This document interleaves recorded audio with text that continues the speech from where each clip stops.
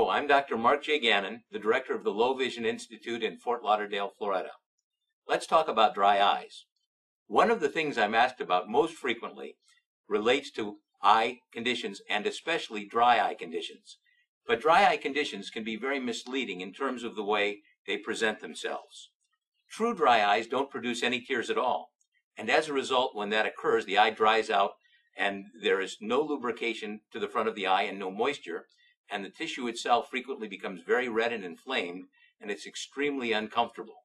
That condition is very easy to identify when it occurs, and there's a lot of simple solutions and some more complex to restore moisture to the front of the eye.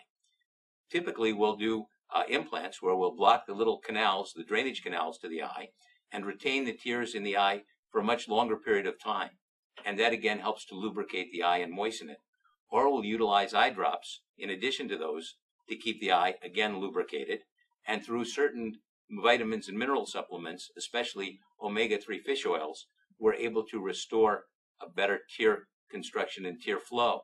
So there are some things that we can do in dry eye situations to uh, improve that condition substantially.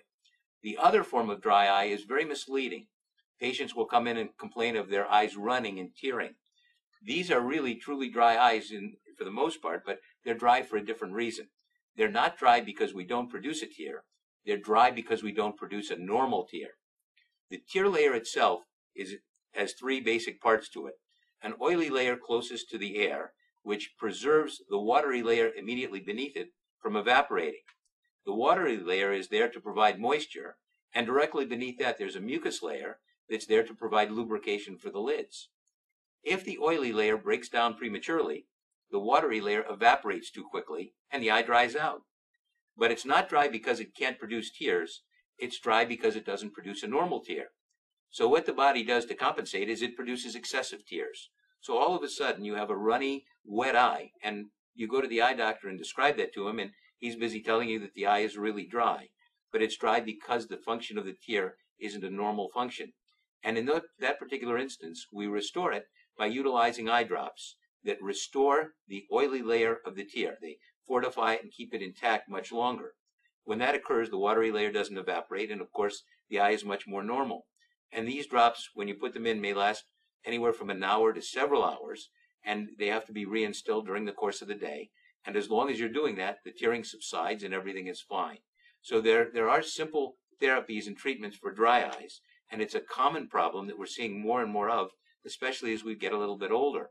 And under certain environmental situations, like air conditioning in an automobile, the eye may tend to dry faster, so it'll produce excessive tears more readily.